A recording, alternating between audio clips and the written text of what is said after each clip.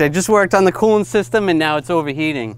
Some vehicles are pretty cut and dry. All you have to do is add the coolant, start them up, let them run for about 10 minutes, make sure the thermostat opens up. That's gonna burp any of the air out. And then you shut the vehicle off, let it cool down. Once it's cooled down, you top off the levels and you're good to go. This vehicle, it kind of self bleeds a little bit because there's a hose right here that goes from the radiator and that goes over into the reservoir.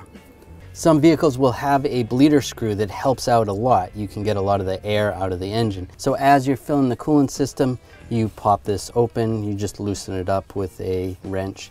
And as the coolant fills up, you're gonna hear air hissing out of that right there. To watch the full length version of this video, click the link in the description and check out the 1A Auto YouTube channel. We have thousands of DIY and diagnostic videos in our library.